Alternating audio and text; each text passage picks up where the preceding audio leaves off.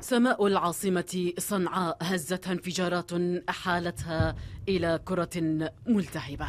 القصف الذي استهدف العاصمة ومدنا يمنية أخرى.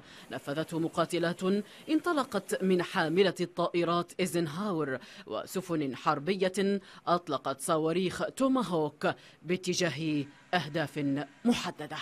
ضوء أخضر جديد. منحه الرئيس الأمريكي لتنفيذ ضربات على 36 هدفا للحوثيين في اليمن في 13 موقعا وفق بيان أمريكي بريطاني مشترك.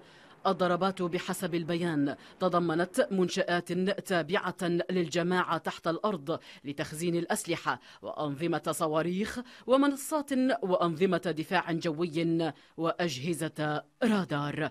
غارات تقول الولايات المتحدة إنها جاءت لإضعاف قدرات الجماعة ودحر هجماتهم على السفن الأمريكية والبريطانية والشحن التجاري الدولي في البحر الأحمر ومضيق باب المندب وخليج عدن.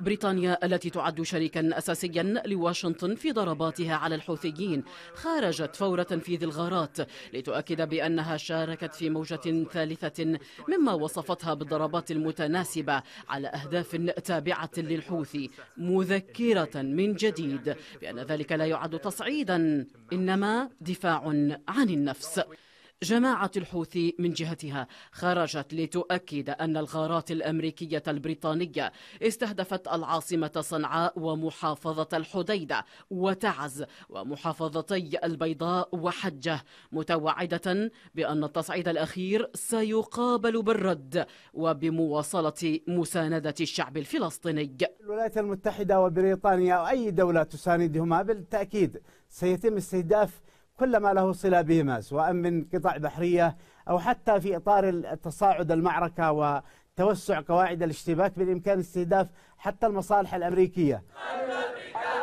التصعيد الأمريكي البريطاني ضد جماعة الحوثي يتزامن مع ضربات أخرى استهدفت جماعات موالية لإيران في سوريا والعراق في مشهد توسيع للصراع.